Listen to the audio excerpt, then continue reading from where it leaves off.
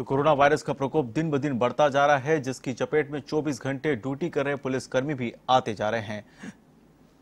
ऐसे में संक्रमण के बीच पुलिस कर्मियों के इम्यूनिटी सिस्टम को बनाए रखने के लिए विभिन्न संस्थाएँ आगे आ रही हैं। ऐसा ही देखने को मिला राजधानी के श्यामनगर थाना इलाके में, जहाँ सीकेएलएम ग्रुप की ओर से श्यामनगर थाने में कार्यरत सभी पुलिसकर्मियों को पानी के थर्मस और बोतल दी गई ताकि भीषण गर्मी में इन पुलिसकर्मियों को पानी की कमी से जूझना नहीं पड़े। इसके चलते कंपनी की ओर से पहल की गई है।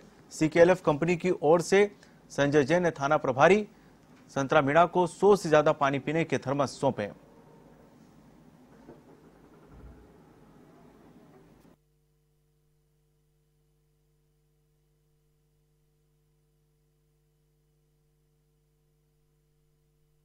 हाँ ये सी एल के है चंदालाल कल्याणमल जी के यहाँ से इन्होंने सभी हमारे श्यामनगर पूरे स्टाफ के लिए गर, गर्म पानी के थर्मस दिए हैं।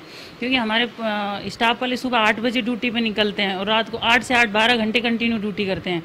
तो उसके लिए पानी इसमें क्या सेफ़ रहेगा? जैसे गुनगुना पानी रहेगा लंबे टाइम चलेगा। और इस टाइम कोरोना की वजह से कोई पानी शेयर भी नहीं कर सकते। इसलिए सबका सेपरेट पानी के हिसाब से भी इन्होंने बहुत अच्छा सोचा है। पुलिस के लिए बहुत अच्छा सोचा है और इसी उससे इन्होंने